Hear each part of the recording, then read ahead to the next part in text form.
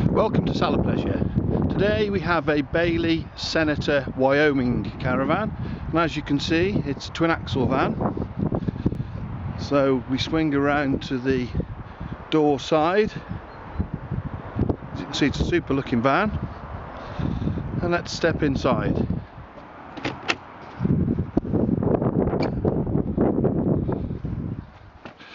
So as you step in the the uh, galley is just in front of us and you've got the fridge with the sink above.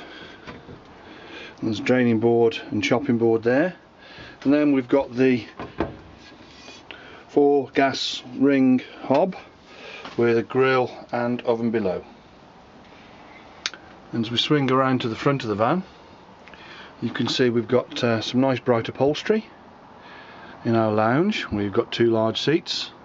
Plenty of storage up at eye level. There's a slot for the stereo. And then as we swing around you can see there's an omnivent extractor in the roof. And there's our first view down the van to the fixed bed. It's a nice spacious bedroom with a fixed bed on the side lovely headboard lots of storage we've got a TV station that can be accessed from either side. That's either in bed or in the kitchen or indeed from the lounge. So let's walk through. There's the door at the end and that leads into the washroom. As you can see we have the toilet there with a nice vanity sink and roller shutter doors to the cupboards below. Eye level cupboards and then around to the shower. And we've got a very large spacious shower unit.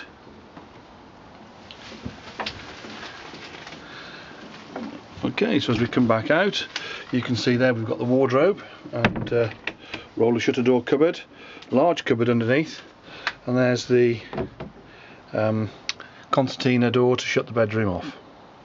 So there we are. Last look back down the van. There we go. Bailey Senator Wyoming caravan.